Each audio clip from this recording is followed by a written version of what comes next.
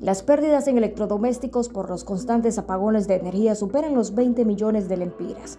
Y aunque la ley establece una indemnización, la ENE no se está haciendo responsable por los daños, aseguran abonados. Aparte de los cortes de energía de hasta 12 horas, los abonados soportan los apagones, que es cuando la energía se va y viene en cuestión de segundos.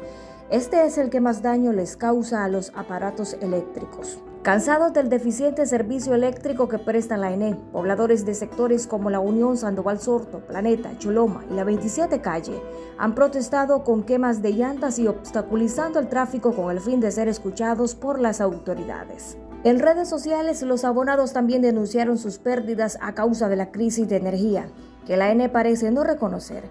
Ya van tres ventiladores y mi refrigeradora se dañó, manifestó Johanna Rodríguez. En medio de las quejas hay usuarios que recomiendan la compra de protectores de voltaje ante esta crisis.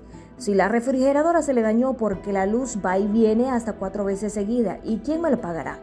Miedo me da comprar otra porque esta gente sin conciencia, tan siquiera rebajaran la tarifa. Pero ese sí llega puntual y nada menos de lo normal, escribió Maurín Mendoza.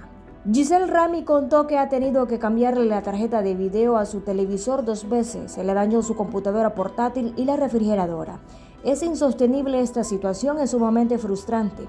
Diré que compré protector, los tengo y aún así hay demasiados apagones. En sus declaraciones sobre la crisis energética, Rolando Alvarenga, presidente de Fede Cámara, refirió que los apagones están causando daños a los electrodomésticos que en pérdidas pueden andar arriba de los 20 millones de lempiras. Ezequiel Vallecillo repara aparatos eléctricos y manifestó que con tantos apagones de energía han tenido muchos clientes que llegan a que le repare sus electrodomésticos. Es importante destacar que tanto la Ley General de la Industria Eléctrica en su artículo 15 como el Reglamento de Servicio Eléctrico de Distribución en sus artículos 21, 22, 23 y 88 explica que la empresa distribuidora, en este caso la ENE, deberá indemnizar a los usuarios afectados por la mala calidad del servicio.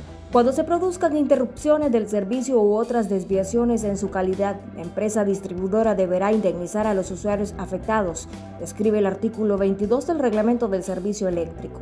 Consultamos a la ENE sobre si están recibiendo denuncias por daños a electrodomésticos y cuál es el procedimiento, pero el Departamento de Relaciones Públicas respondió que eso le compete a la Unidad Técnica de Control de Distribución que ejerce las mismas funciones de la desaparecida EEH. Las mismas preguntas las trasladamos a la UTCD, que en dos días no dio respuesta.